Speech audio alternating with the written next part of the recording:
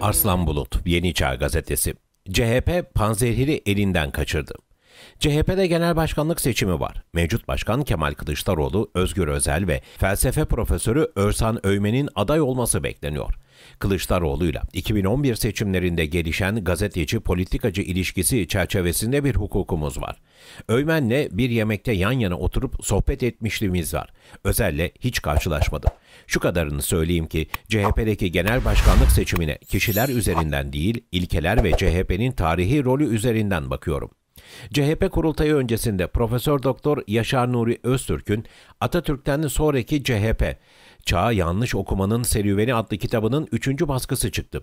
Kitap yayınlanmadan önce Yaşar Nuri Hoca'nın oğlu Mustafa Tahir Öztürk benden kitapta yayınlanmak üzere geniş bir makale istedi. Yaşar Nuri Öztürk'ün Reddedilen Panzehiri başlıklı makalem Yeni Boyut yayınları arasına çıkan kitabın sonuna ek olarak yayınlandı. Yaşar Nuri Hoca CHP milletvekiliyken kendisine yöneltilen parti içi eleştirilere cevap verirken, İslam dinini istismar edenin bu istismarına karşı çıkmak ve bunun içinde dini söylemler kullanmak din istismarcılığı değildir. Ne yazık ki Türk solunun böyle bir anlayışı var. Biri bir zehir üretiyor. Milletin damarına bu zehri şırınga ediyor. Biri de çıkıp bir panzehir üretiyor. Panzehir nereden üretilir? Elbette zehirle aynı yerden üretilir. Şimdi kalkıp her ikisinin de milleti zehirlediğini iddia edebilir misiniz siz? Biri zehir zerk ediyor, diğeri de o zehir bu bünyeyi öldürmesin diye panzehir veriyor. Bu ikisi aynı kefiye konabilir mi? İşte Türk solunda ne yazık ki bu kavrayış hala gelişemedi. Bir de liberal denen emperyalizmin içerideki adı konmamış uşaklığını yapan bir takım sözde aydınlar yapıyor bunu. Onların ne ilkesi ne şahsiyeti var demişti. Deniz Baykal'a Yaşar Nuri Öztürk'le neden devam etmediniz, neden partide tutmadınız diye sorduğumda, Sayın Öztürk'ün değerli bir İslam bilim adamı olduğuna inanıyorum. Onun tezleri gerçekten önem taşıyor. İslamiyeti hurafeden, istismardan kurtarmak ve İslam'ın gerçek değerine, Kur'an'a yansıyan değerine sahip çıkmak yolundaki anlayışını çok önemli ve çok değerli buluyorum. Gelecekte de bunun büyük önemi olacaktır. Siyasetse başka bir alan diye cevap vermiştim.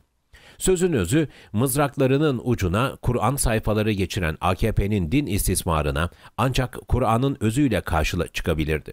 Fakat CHP'nin bünyesi Yaşar Nuri Öztürk'ü hazmedemedi. CHP sonraki bütün genel seçimlerden mağlup çıktı. Esasen CHP Atatürk'ten sonra yönünü kaybetmiştir. Türkiye'de bu sebeple Cumhuriyet'in 100. yılında Cumhuriyet düşmanlarının eline düşmüştür. Bugün küresel sermayeye teslim olan bir Türkiye varsa temelleri İnönü döneminde atılmıştır. Atatürk'ün hemen ardından 1939'da İngilizlerle borçlanma anlaşması imzalayan İnönü, Lozan'da kazandıklarını tek tek vermeye başlamıştır. Yaşar Hoca kitabın hemen başında bu konuya değiniyor.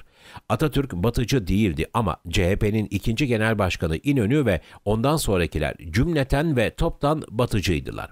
Özellikle İnönü, batıcılık adına Atatürk'ün yarattığı birçok şeyi yerle bir etmiştir. Batıya yaranmak adına Atatürk'ün mirasına büyük zararlar vermiştir.